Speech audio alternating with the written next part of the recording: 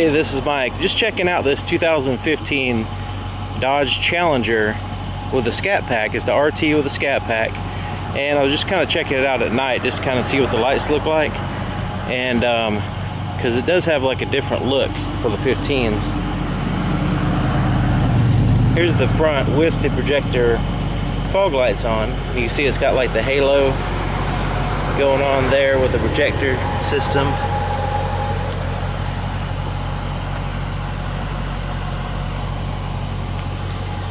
And it looks like these are LED here on the side.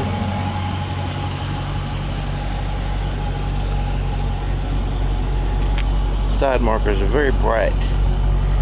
And then you got this glow back here, which is awesome. Now I don't have anybody to help me out, or I'd show you when you put the reverse lights on, you can see in my video, the teaser video I made, when the guy puts it in reverse after he takes it off the, the, the truck, you can see there's like a white bar for the reverse light there uh, of it's just like a strip of LEDs back there.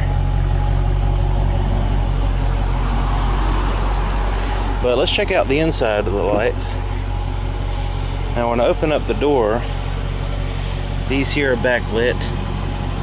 These buttons here. And then we've got some lights shining here and on the seats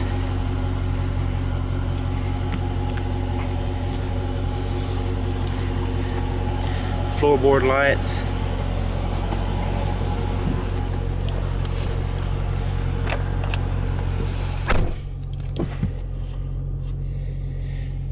And we've got these lights on. So you got the light here on the floor. See, it looks like you got a light there under the door. Yeah, there's a light there. I didn't notice until until I closed the door because it's not really pitch black outside. So we'll wait till those turn off. Interior lights, I mean. And we'll see what's illuminated in here. Looks like these are illuminated. These are.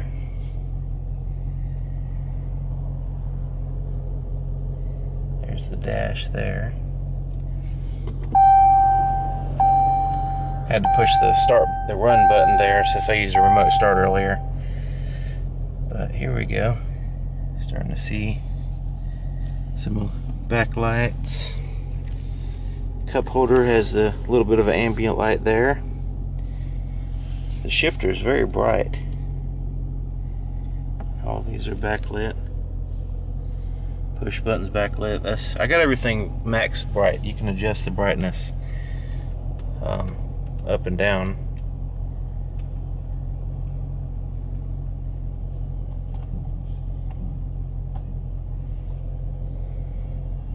But pretty cool. Put it back up bright so we can see it. But yeah, so now we've got a little bit of illumination back here too in the floorboard. I don't know if you can see in the video, hopefully you can. See my feet down there? Um, there's the pedals.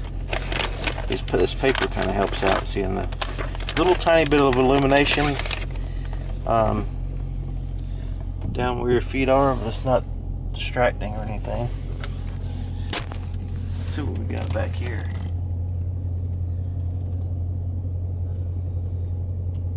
Let's see. These are backlit on the rearview mirror. Garage doors backlit. You got the lights for the the visors there. Anyway, I think that's about covers everything. Just wanted to, um, I don't really have it in a pitch black place. It's in the dealership, next to the dealership where there's lights and stuff. But it gives you a general idea of what it looks like. Alright, see you next time. If you have any questions, let me know.